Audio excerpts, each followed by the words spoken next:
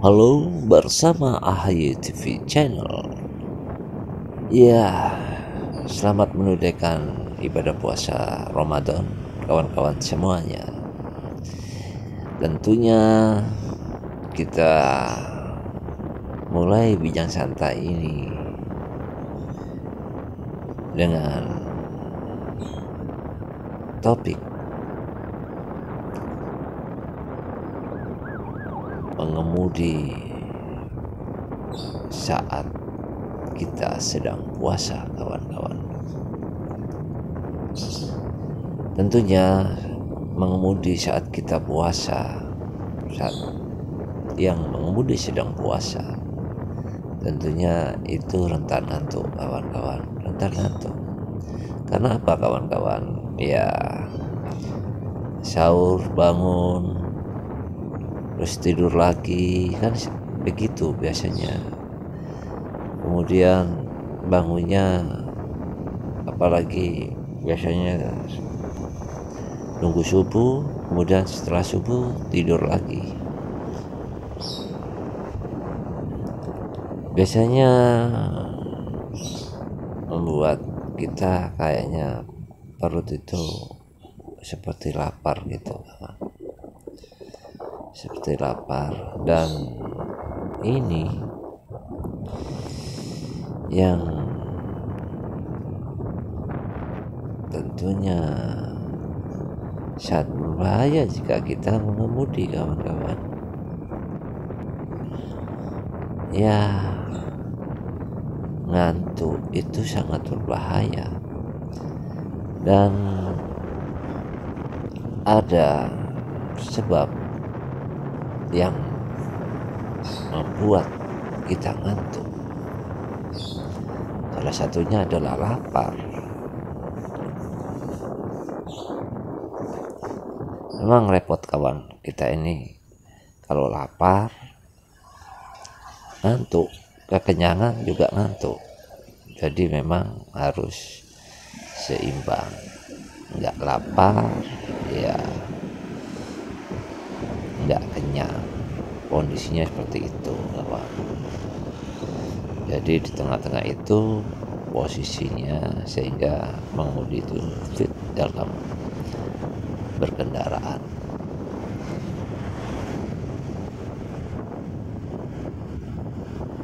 Tentunya kawan ketika berpuasa saat mengemudi itu memang kondisi kita itu tingkat emosinya tinggi kawan-kawan. Karena apa? Menahan lapar menahan menahan ya minum menahan menahan apa saja kawan-kawan yang yang berhubungan dengan makan minum. Itu kan merupakan menahan itu juga mengeluarkan energi kawan-kawan. Jadi menahan segala sesuatu itu juga merupakan energi.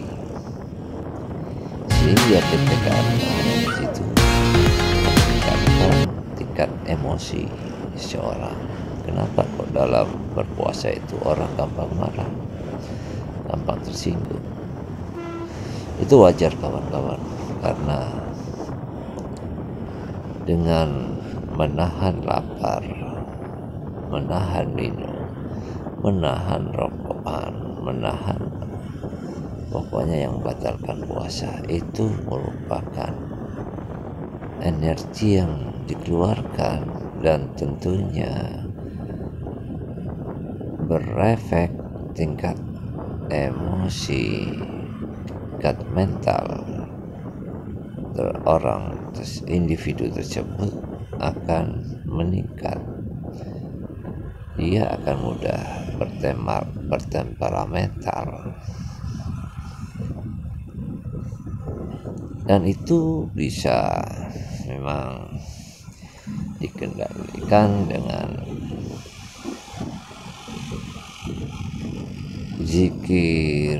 Itu memang untuk merendahkan tingkat mental seorang jika kita istighfar itu juga bisa menurunkan tingkat temperamental atau emosi seorang tapi berzikir juga merupakan energi juga kawan-kawan.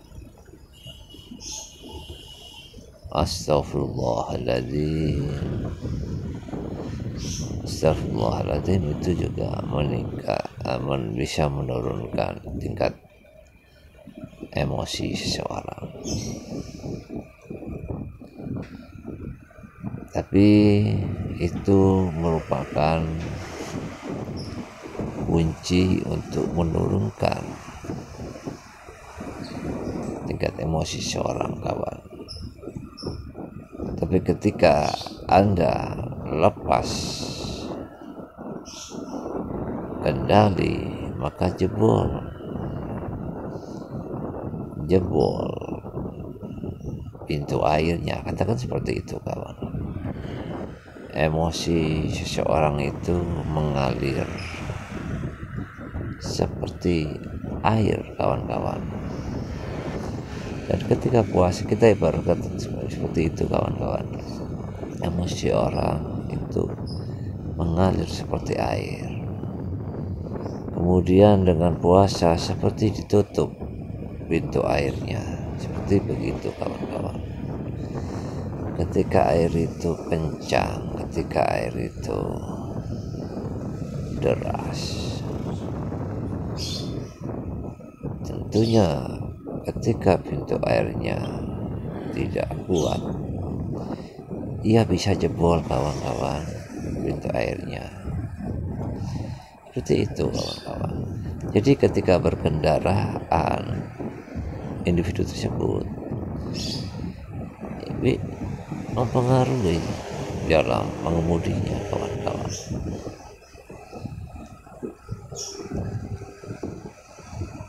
Apa yang Anda rasakan ketika Anda berkendaraan? Ketika puasa kawan-kawan apa yang Anda rasakan saya ingin mengajak kawan-kawan bercerita mengenai pengalaman Anda ketika mengemudi dalam keadaan berpuasa berkendaraan dengan keadaan puasa apa yang anda alami. Oke kawan-kawan, saya tunggu komentar dari kawan-kawan semuanya.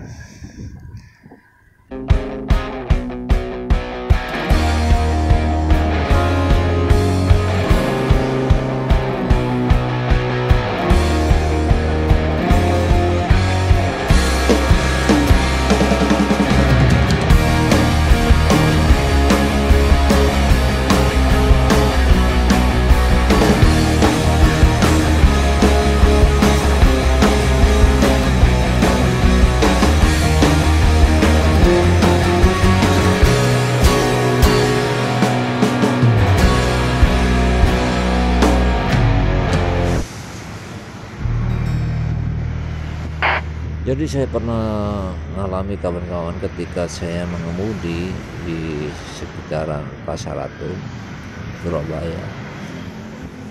Kondisi jalan itu macet. Ya kayak stop go, stop go gitu, berhenti jalan, berhenti jalan. Terus pada saat itu cuaca panas sekali uh, mata saya itu ngantuk kawan-kawan ngantuk. Tapi dengan kena sinar cahaya matahari itu terus ditambah